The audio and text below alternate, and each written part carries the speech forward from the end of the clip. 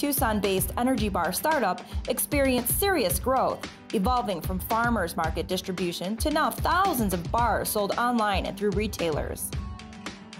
Our bar keeps things simple with no more than a handful of all natural ingredients like dates, dried fruits, and nuts. And Cornelius had a hand in every aspect of our bar's production, from product to packaging. To keep up with demand, he decided on the Packaging Aids FW400F Flow Wrapper, priced right for a growing startup with machine options to ensure freshness.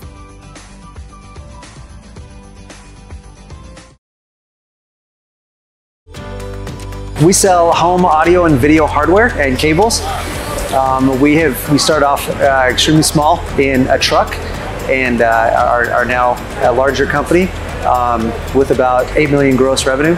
Uh, we are primarily on Amazon, but we're also on uh, eBay and Wish and at Walmart. We're trying to expand to Target um, and just expanding everywhere we can. Um, and with starting out small, uh, a lot of manual labor, a lot of um, individual employees doing the packaging, doing the labeling, uh, doing the production like that. And as uh, labor shortage has hit harder um, in 2020, 2021, uh, we have uh, branched out into the automated sector, um, semi-auto, and then automatic bagging and labeling.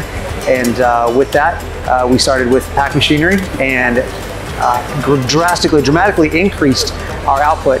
even though we were losing employees, we were up to 30 employees at one time.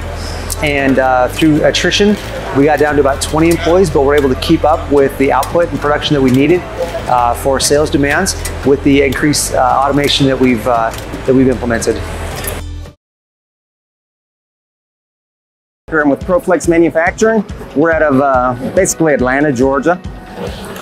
And uh, we're here looking at packaging. We manufacture polyurethane uh, thermoplastic rope for a variety of markets, whether it be marine, camping, DOD, uh, automotive, just a variety of industries and trying to really crack into the uh, retail market. So we're here at your booth and we like what we see.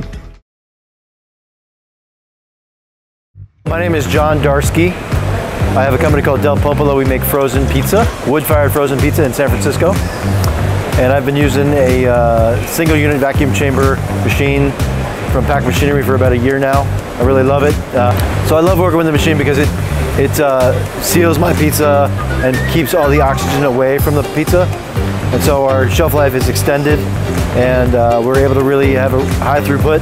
Even though we're still a small company, uh, the machine operates really quickly and efficiently and uh, we're maximizing our production by using that machine. We're, we're in uh, 60 stores in the Bay Area, including about 40 Whole Foods.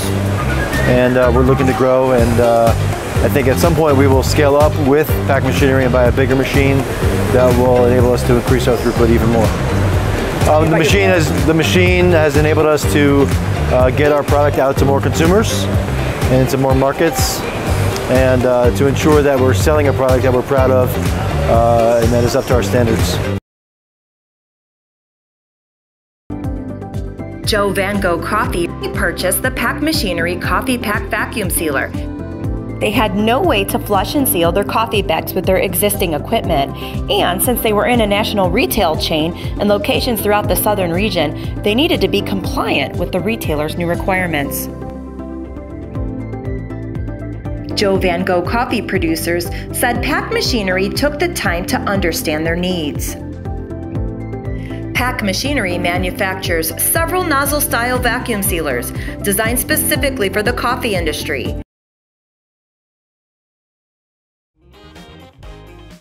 The Clamco 120C is an excellent choice for a retail setting.